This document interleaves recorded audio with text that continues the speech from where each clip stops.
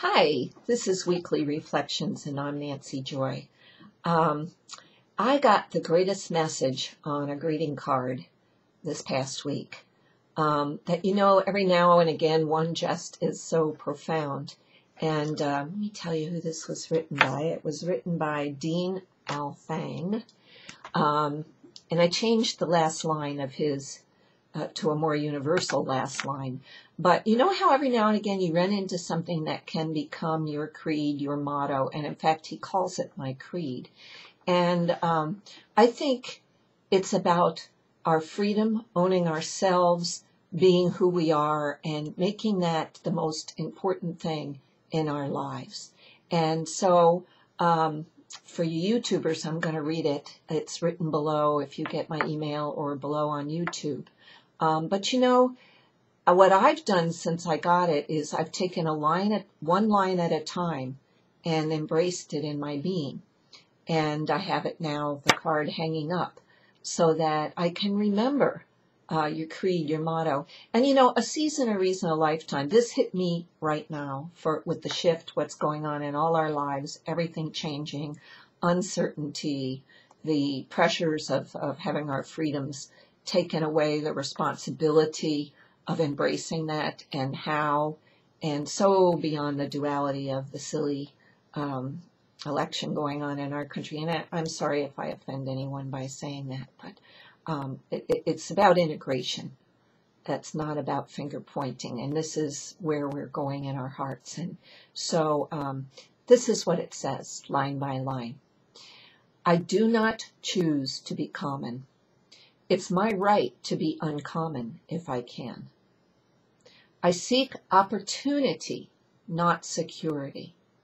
That's a tough one. It's easy to say, eh, but, but it's a tough one to really embrace and believe. We all need some work on that one, but it will set us free. I want to take the calculated risk. I love I want to take the calculated risk.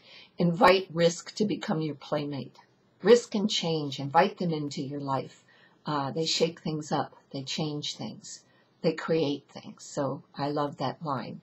Uh, I want to take the calculated risk. Then it goes on to say, to dream and to build, to fail and to succeed.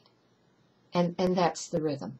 That's the rhythm. Because with everything we dream and how it turns out and how we build it, and with every failure, the lessons learned, this is the process the, the, the progress you make with creation. I refuse to barter incentive for a dole. In other words, is your incentive money or are you living your passion? Um, I prefer the challenge of life to the guarantee of existence. And you know, there you have it. You know, in so many places we rely on things other than ourselves and we are learning and we are stepping into that power now, and it's changing everything, isn't it? Um, the thrill of fulfillment to the stale calm of utopia. You know, that's the old thing. You you can be in bliss only for so long, and then you seek the challenge of expansion and growth, which comes through risking and believing and stepping into um, things that maybe are not feeling so safe and secure. But it is the pathway. I prefer the challenge of life to the guarantee of existence, the thrill of fulfillment to the stale calm of utopia. I will not trade freedom for beneficence. No, for benefits. I won't trade my freedom for any benefits outside of myself, nor my dignity for a handout. I will never cower before any master, nor bend to any threat. It is my heritage to stand erect, proud, and unafraid. By heritage, this heritage I trans, I translate that it's humanity. It's humanity, all across the board, humanity's heritage to stand erect, proud, and unafraid. And act for myself. Enjoy the benefit of my creations and to face the world boldly and say, This I have done and what it means. This is what it means to be a conscious human on planet Earth. So I love it. I love this creed. Now, his last line is this is what it means to be an American. Um, but again, I see that as a limitation. I love being an American. I truly do love being an American.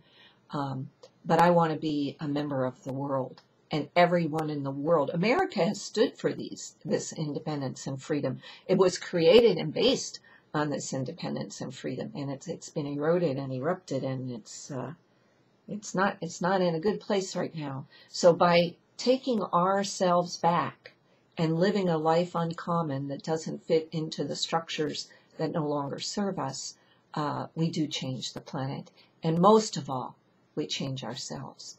So uh, that's my message, short and sweet this week. Have a great week. I've posted two great new trips.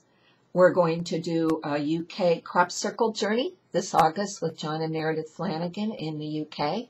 Um, check it out. It's going to be awesome. Check it out on my website. It's going to fill up fast.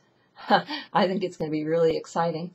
And then we're going back to the Bimini Dolphins at the end of April, beginning of May of 2013. So if you've seen the videos and, and been inclined to want to do that, get in touch with me because we'll figure out a, a plan, a payment plan on any of these trips. And I'm for making them possible, and they're and it, and they are possible. So if you have an inkling and are interested, let's talk. Let's figure out how we can create together. Right? Have a great week. I'll be back with you next week.